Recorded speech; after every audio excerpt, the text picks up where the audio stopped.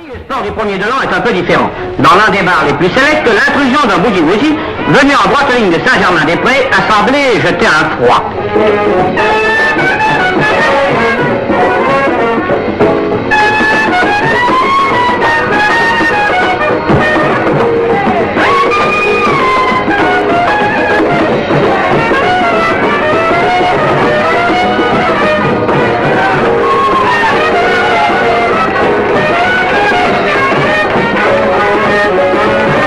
Mouvement est un bon adjuvant pour réchauffer l'atmosphère et l'optimisme. Et le bougie-bougie du premier de l'an vaut certainement dans un sens tous les meilleurs vœux.